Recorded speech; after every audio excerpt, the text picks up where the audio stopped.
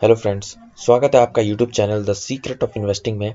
दोस्तों, बहुत सारे रिटेल इन्वेस्टर इस स्टॉक में ऑलरेडी फंसे हुए हैं, क्योंकि ये स्टॉक स्प्लिट होने के पहले बहुत ही धमाकेदार रैली आपको दिखाता हुआ नज़र आ रहा था।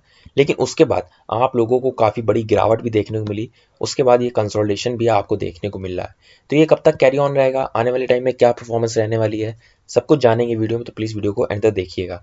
अगर आप लोग यहाँ पे शेयर होल्डर हैं आईआरसीटीसी के तो काफ़ी कुछ सीखने को मिलेगा। तो वीडियो अच्छा लगे तो प्लीज़ वीडियो को लाइक कर सकते हैं। चैनल पर फ़र्स्ट टाइम हो तो पहले सब्सक्राइब ज़रूर कर लीजिए।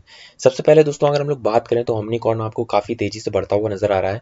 तो यहाँ पे एक बहुत बड़ी नेगेटिव न्यूज़ आपको आई से रिलेटेड देखने को मिलेगी।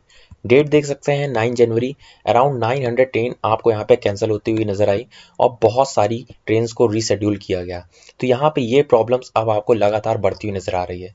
जैसे जैसे कोविड केसेस बढ़ते हुए नज़र आएँगे तो सबके जो माइंड है, उनको पता है, सारे लोगों को पता है यहाँ पे कि उनको बाहर जाने अवॉइड करना है।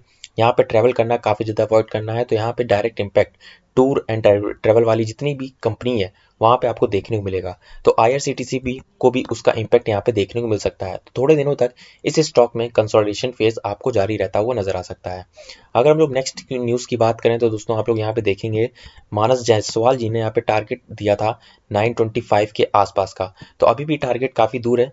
यहाँ पे आपको ये अराउंड 925 से 950 के आसपास बहुत सारे बड़े बड़े जो इन्वेस्टर होते हैं, वो आपको टारगेट देते हुए नज़र आ रहे हैं। तो यहाँ पे अभी ये जो स्टॉक है, आपको अराउंड 874 के अराउंड ट्रेड होता हुआ नज़र आ रहा है और स्टॉक में कंटिन्यू तेज़ी आपको बनी है। देख सकते हैं पिछले पाँच दिनों से लगभग तीन परसेंट की तेज़ी आपको देखने को मिल रही है। तो ये कैरी ऑन हो सकती है। तो अभी भी एक खरीदारी का मौका है। आप लोगों को नाइन तक या नाइन तक आराम से ये स्टॉक जाता हुआ नज़र आ सकता है। तो अगर आप लोग स्विंग ट्रेडिंग करना चाहते हैं तो ज़रूर इस स्टॉक को बाय कर सकते हैं और आने वाले दो तीन वीक में अराउंड ये नाइन के आसपास ट्रेड होता हुआ नज़र आ सकता है। लॉन्ग टर्म इन्वेस्टर यहाँ पे बेफिक्र होकर इन्वेस्टमेंट कर सकते हैं।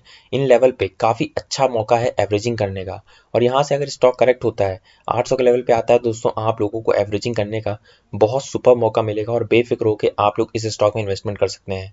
क्योंकि लॉन्ग टर्म के सिनेरियो से हम लोगों ने ऑलरेडी कई बार डिस्कस किया है कि स्टॉक में कोई कमी नहीं है और लॉन्ग टर्म में ये स्टॉक आपको मल्टी बैग रिटर्न दिखा सकता है। बहुत जल्द आपको इस स्टॉक के क्वार्टर थ्री के नंबर भी देखने को मिलेंगे। और यहाँ पे जो कैटरिंग का बिज़नेस अभी तक बंद हुआ था, अभी तक कोई भी कैटरिंग का बिज़नेस सर्व नहीं किया जा रहा था, जिससे कंपनी सबसे ज़्यादा रेवेन्यू कमाती है, वो भी आपको स्टार्ट होता हुआ नज़र आया तो देखना पड़ेगा कि क्वार्टर थ्री के नंबर किस तरीके से आते हैं और कितना जंप यहाँ पे आपको देखने को मिलेगा। तो वो आपको काफ़ी ज़्यादा इंपैक्ट डालता हुआ नज़र आएगा आईआरसीटीसी के स्टॉक पे।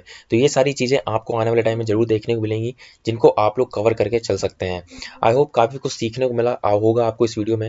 वीडियो अच्छा लगा हो तो प्लीज़ वीडियो को लाइक कर सकते हैं चैनल पर फ़र्स्ट टाइम हो तो प्लीज़ चैनल को सब्सक्राइब कर लीजिए, मिलते हैं आपको नेक्स्ट वीडियो में, तब तक के लिए बाय बाय